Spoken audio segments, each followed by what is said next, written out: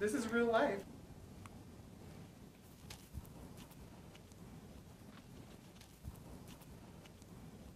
Yeah.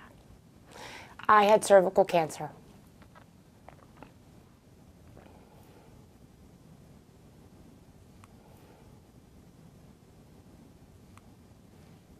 Sorry. Yeah. Hmm? Go ahead, Stacy. Uh, I had cervical cancer.